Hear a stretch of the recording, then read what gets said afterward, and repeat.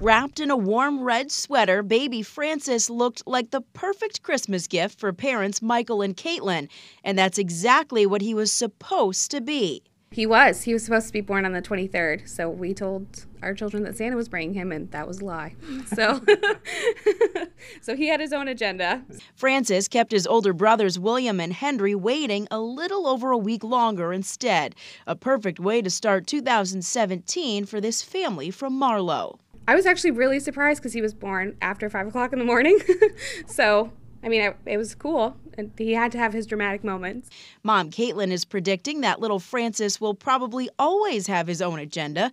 She thinks he wanted to avoid the drama of 2016 and have his own moment. I just hope that he grows up happy and this is a new year. We can leave all that 2016 stuff behind. And he decided that he didn't want to be a part of that. And he's starting off the year fresh. She and Father Michael are just happy their son, born at 8 pounds, 13 ounces, and 21 inches long, is healthy. I thought he looked perfect.